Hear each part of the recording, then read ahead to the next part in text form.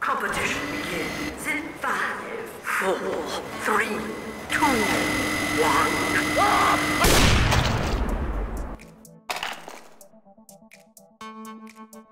I am not done with you yet. I promise you, pain without. Ah! Doctor, this way! Now, doctor! Doctor! This ever happened to you? You hopped into a happy match of TF2 for an hour, or so you hoped. You, however, horrifically decided to pick Heavy. Having half the classes designed to be nothing but a harmful hazard, especially to your head, you're halted from having fun. Now I know a lot of people are already rushing to the comments to write a rant about why they're right. No one hates Heavy. And yeah, for the most part, I do agree. Heavy, unlike every other class we've discussed in this series, undeniably has no universal fuck yous with him.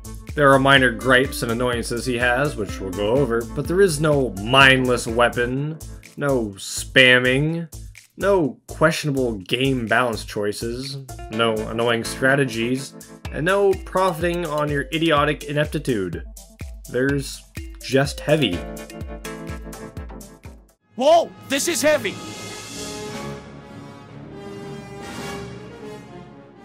Like Mario for Nintendo, Sonic for Sega, and Earthbound for every indie wacky action RPG game, Heavy is the face of TF2. He's in Left 4 Dead, Poker Night the Inventory, and even Worms, but despite being the face of the game, Heavy suffers some severe self-identity issues. As his name suggests, Heavy is heavy. He weighs as much as his health, being 300, and can fire 300,000 rounds a minute thanks to his minigun. He's meant to be the bulky bulwark of the battlefield, brushing off bruises and bullets bestowed upon him. In other words, a tank. He can take damage without a dent, but can he dish it out? Sorta. Heavy's minigun is one of the few sources of sustained damage within the game, meaning the longer someone stays in your sight, the more scarring you supply, as long as you're somewhat close to them. Issue is that because Heavy inches along, getting enemies within that sweet spot is a challenge, and getting them to stay in it for long enough to fall over is even more of one, especially when shooting slows you even more. This slow speed also means that all those snipers, spies, scouts, soldiers, and explosion men see Heavy as nothing but a free chicken dinner. Being a 300 HP tank means very little when half of the classes can insta-kill you, and the other half can deal 100 damage easily because you're unable to dodge. Thankfully, you can close the distance or backpedal away with the shotgun, or stuff your stomach with a sandwich to restore your health. The typical tank is oftentimes talked about as being trash or for total trainees. The less experience you have in a game, the more likely you are to make mistakes, giving appeal to characters that may have extra health, armor, or defense. This lack of experience and overall bulk also typically means less skilled shenanigans and techniques are applied into the game. On the flip side, when you actually do learn the game, light-footed characters take the lead, having lasting bonuses at the cost of fragility. Because the emphasis is on not making mistakes and playing to the best of your ability, characters like these are typically notarized as being higher skilled and much stronger.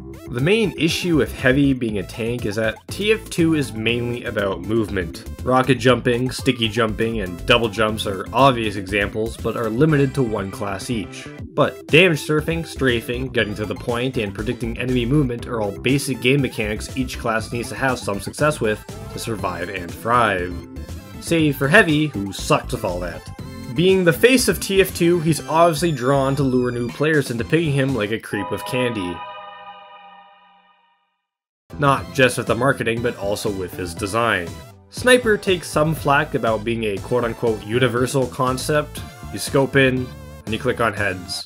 But there's still some semblance of a shakeup that still makes snipers still sovereign to new players, such as the charging system, in addition to class matchups such as spies, soldiers, or scouts, teaching that some characters are meant to stab you, some are meant to soar into the sky, and some are meant to shoot you till you scream. Heavy, on the other hand, he he has a big gun, and it shoots. It shoots a lot, a lot of bullets. Sure, the concept of classes still plays a part, but not the same pedigree as Sniper. If a scout pops up, you still shoot him the same way if he was a spy or soldier. Heavy may be designed for new players to the game, but he doesn't actually come equipped to be designed for the game at all. Heavy is like onion. They stink. Yes, no! Oh, they make you cry. No! Oh, oh! You leave them out in the sun and they get sniped! No! Theirs! Heavy has theirs! Onions have theirs! You get it. We both have theirs.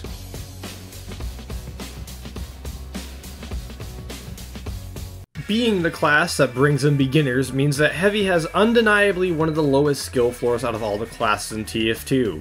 You point the gun, move slowly, and shoot at anyone who gives you a stupid look.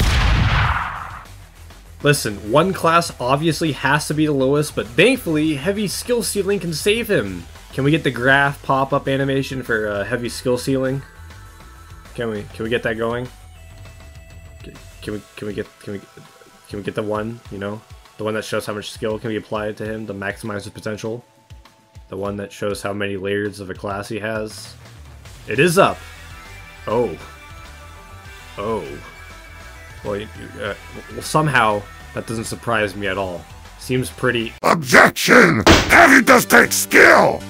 Heavy has many play styles! Heavy has mechanical depth! And other funny jokes you can tell yourself. Heavy is such a one-dimensional class that it makes Mr. Game & Watch look like IMAX 4D. Before the comments start flooding in about how Heavy requires good aim, positioning, and game sense to play effectively, let's just mention that every class has this need. In fact, every single game with a gun has these attached to them. They aren't unique to Heavy at all and are all basic game mechanics, and even then, it's still kind of arguable that Heavy still doesn't rely on them as much as other classes. When it comes to aiming, Heavy is the only class whose primary is a tracking weapon compared to a burst one. Keeping your reticle on a target for an extended period of time is a lot easier than trying to predict where it'll be, especially when the high rate of fire of the minigun mitigates any missing you make. Compared to the burst damage weapons such as the rocket launcher, grenade launcher, or sniper rifle, where a single miss means misplacing massive amounts of potential damage. The problem with positioning is that it's partially paired with mobility. A class such as Scout, Soldier, and Demo has twice as much mobility simply because they can sprint past everyone else and have verticality attached to them. Having to account for your position not just on the ground but in the air as well means they require more game sense and skill to succeed. As for actual mechanical depth, I don't think anything can truly topple the tower that is rocket jumping in terms of how complex but sophisticated it is. Even relatively simpler classes such as Engineer or Sniper still have some tricks up their sleeves such as Wrangler jumping or drop shots. The most mechanical skill Heavy has going for him is jump revving and sandwich throws, but if you're considering hitting M2 with the sandwich out a skill, then we may as well consider throwing Mad Milk and Jarate a skill as well. As for jump revving, yes, it is something that adds just a little bit of flavor to heavy skill set like salt for potatoes, but it isn't that fascinating. People tend to have the ability to simplify classes that they seef about to simple key selection. Pyro is all WM1, Engineer Sentry does everything, all Demo does is spam, surface level bullshit like that. But in all seriousness, it's literally just hitting space and then M2. It's a button combination that rivals Reggie's. I really don't want people to focus on the point of Heavy takes zero skill, Heavy is too easy, get good noob, play a good class, and focus more on the fact that because Heavy has a low skill ceiling and lacks mechanical depth, that it makes him a boring class to play. He isn't so stupid easy that as soon as you spawn, the entire world goes up into flames, killing everybody. My flesh, it burns! I already mentioned how hard he gets punished for being a slow, immobile mass of muscle rather than a swift, sprinting son of a spy.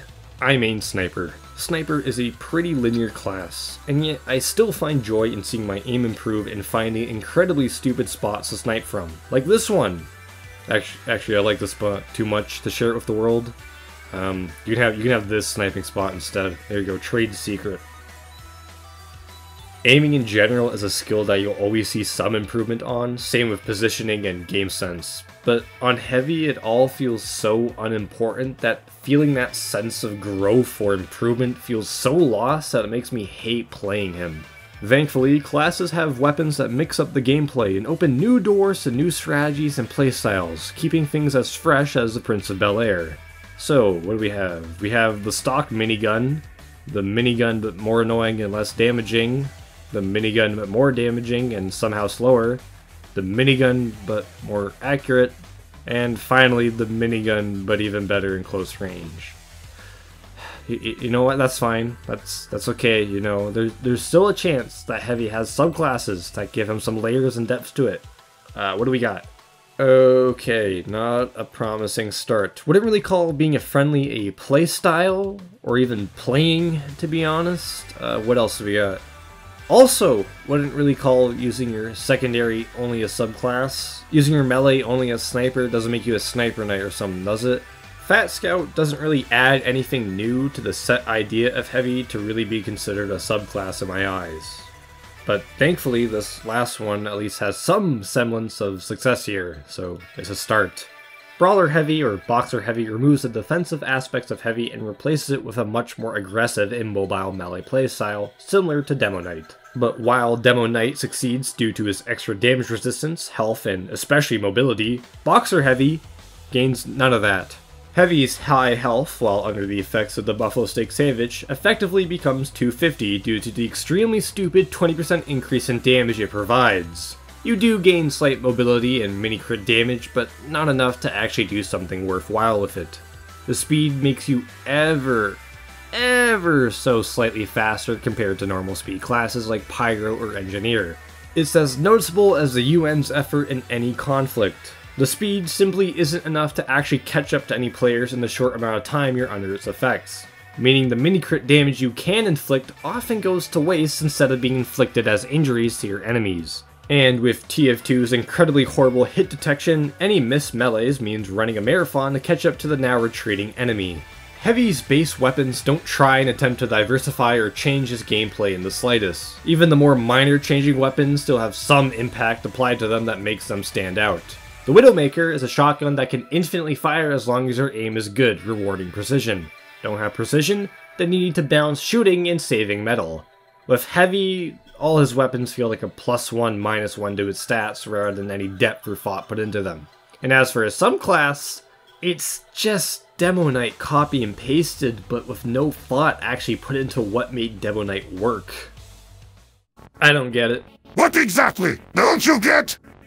So, it turns from a minigun into a slower but more damaging minigun, right? Da! Well, what's fun about that? You know what? I'm a mature man. I'll admit that maybe there's a slight chance that I'm missing something when it comes to playing heavy. Sure, he makes me want to smash my face into my desk, he walks too slow, his damage is too low, and by god, he needs a medic to put on a show. But there's gotta be something appealing to him, right? That's why there are nine heavy mains out there. If only there was a self-proclaimed heavy main who would walk through the door and share his secrets of heavy with me. Or, or not, I guess. As I stated at the start, I don't think Heavy is a class that anybody hates fighting against. He has several easy counters and his lack of mobility and effective range makes flanking or spamming him from range an easy target to whittle health down. Even if he's considered to be the easiest class to play as and specifically designed for beginners, there's simply too much putting him at a disadvantage to really make him seem strong. People who do complain and genuinely hate fighting against heavies are typically either Pyro mains who rush him head on, or simply weren't paying attention to the mountain of muscle moseying on over to kill them. Maybe that's what makes dying to him feel even worse, and instead of blaming yourself, people call him an easy peasy lemon squeezy class.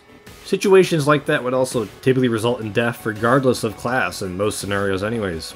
A heavy jump revving around the corner and feeding you a diet of lead is comparable to a soldier shooting you skyward and sunning you in the same situation. And as stated, it's not like there's a massive skill ceiling that also makes fighting a god tier heavy so infuriating, unlike other classes like soldier or sniper, because all his tools, skills, and mechanics are so limiting and require extensive support from a medic or engineer to make use of. If anything, this video should be called Why People Hate Playing Heavy. It, it won't be though, it doesn't match. He's as shallow as a pool in the Gobi Desert, with not enough mechanical skill or depth to feel fun playing over a long period of time, and too many significant drawbacks make playing him the short time fun either. His overall lacking amount of varied playstyles, weapons, and depth doesn't help with how stale the gameplay becomes either.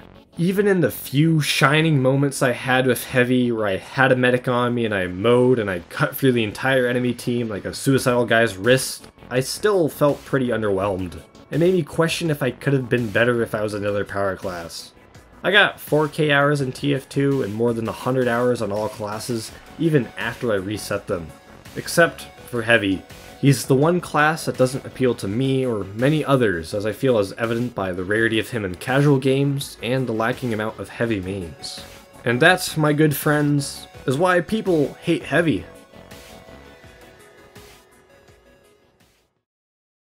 And thus, a chapter closes on the channel for the class-based conversations has run its course. The series may still be brought back around in a new light, why people love is currently on the table, although I'd rather continue talking about why people hate stuff like certain maps and minorities before selecting a new series to start. Still got a lot of stuff to create and do over the next couple of months as well, including the next community game mode tier lists, which should be up and coming in the next few videos. What could it be? This entire video is a bit of a hint, to be fair, on what it is. If you want to get more details about it and other upcoming videos, we got the Discord there, which I typically leak stuff in there, and the Patreon, which gets you into the video, art, and some other nifty fun stuff like tutorials on how to build pipe bombs from home.